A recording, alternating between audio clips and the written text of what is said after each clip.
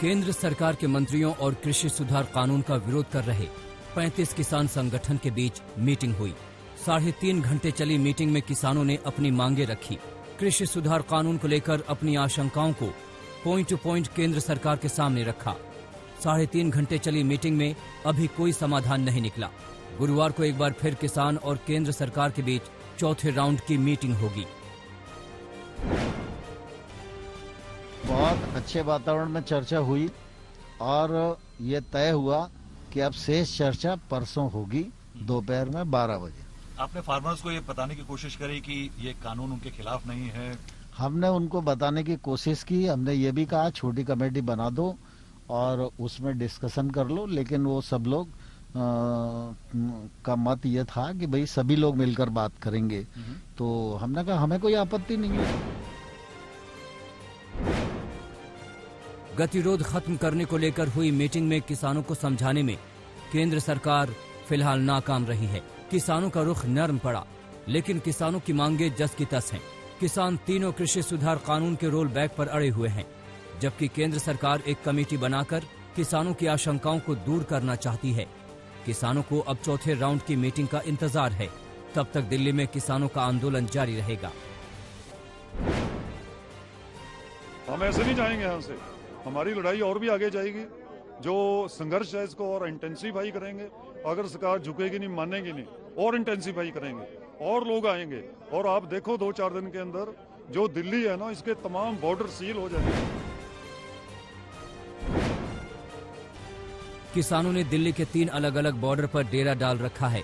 दिल्ली के गाजीपुर बॉर्डर पर किसानों ने ट्रैक्टर से बैरिकेडिंग को तोड़ने की कोशिश भी की थी। किसानों ने हंगामा भी किया। लेकिन पुलिस के समझाने से किसान मान गए थे। दिल्ली के गाजीपुर बॉर्डर पर किसानों को सपोर्ट करने भीम आर्मी के चीफ चंद्रशेखर रावण भी पहुँचे थे।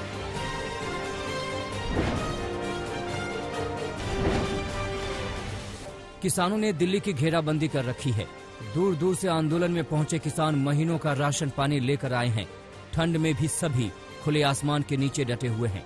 गाड़ियों के पीछे बनाए गए अस्थायी तंबुओं में रह रहे हैं।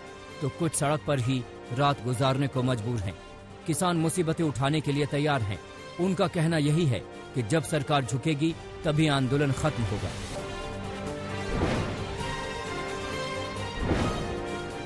दिल्ली के टिकरी बॉर्डर पर किसान आंदोलन में अलग अलग रंग देखने को मिले। कुछ नौजवान गीत संगीत के ज़रिए किसानों की मांगों को सरकार तक पहुँचा रहे हैं।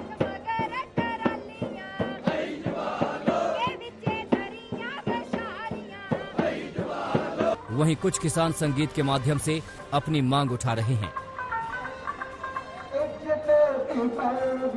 किसान आंदोलन में सुर है, संगीत है तो खाने पीने का भी पूरा इंतज़ाम है। आंदोलन सेंटर पर 24 घंटे लंगर चल रहा है। किसानों को ठंड से बचने के लिए गर्म चाय दी जा रही है, मिठाई बांटी जा रही है, दोपहर और रात का खाना मुफ़्त में बांटा जा रहा है।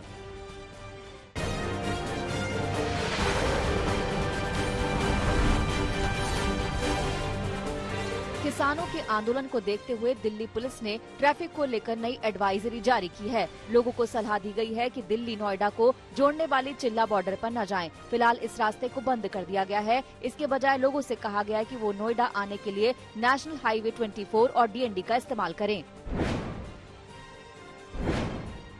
साथ ही अक्षरधाम मंदिर से लेकर चिल्ला सीमा तक का रास्ता भी फ़िलहाल बंद रहेगा उधर टिकरी झड़ौदा सीमा को भी फ़िलहाल ट्रैफ़िक के लिए बंद कर दिया गया है और हरियाणा के लिए धरौला, कापसहेड़ा, रजोकरी, बिजवासन, पालम बिहार के रास्ते ऐसी आए जाएँ।